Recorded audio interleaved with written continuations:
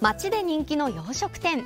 まずはふわふわの絶品オムライスが味わえるお店をご紹介。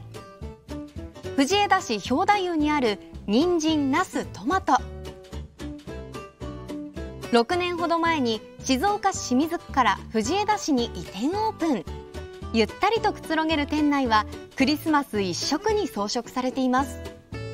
オムライスを中心にした洋食屋になっております。一番人気はふわふわオムライス。まずは玉ねぎ人参鶏肉をバターで炒めていきます。鶏肉に火が通ったらそこに入れるのは白いご飯ではなくターメリックライス食材をさらに炒めたらシンプルにケチャップで味付けします。これでご飯が完成。オムライスに使う卵は3つ。よくかき混ぜ塩コショウで味を整えたら一気にフライパンへ。手際よく卵を包んだら先ほどのケチャップライスの上にのせていきます。そこにお店自慢のデミグラスソースをたっぷりかけます。デミグラスソースは35年継ぎ足したソースでオムライスに合わせたようにちょっとケチャップを増やして仕上げております。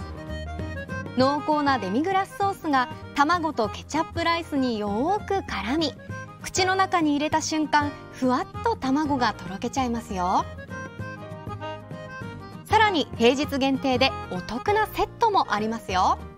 平日は1000円でオムライスとスープとサラダドリンクデザートがついたお得なセットがあります。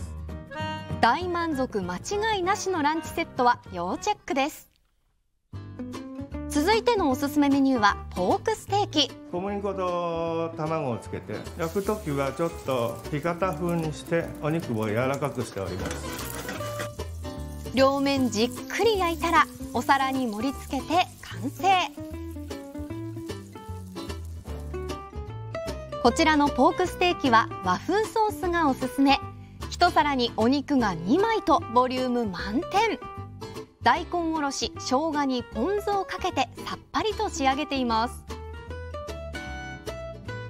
この他にも寒い冬にぴったりなのがこちらのチキンドリア。ソースは3種類から選べますがおすすめはホワイトソース。とろけたチーズと熱々のクリーミーなソースで体も温まりますよ。家でもふわふわオムライスを味わいたいという方はこちらの2品のみテイクアウトができます。ぜひこの冬は人参なすトマトのふわふわオムライスを味わってみては？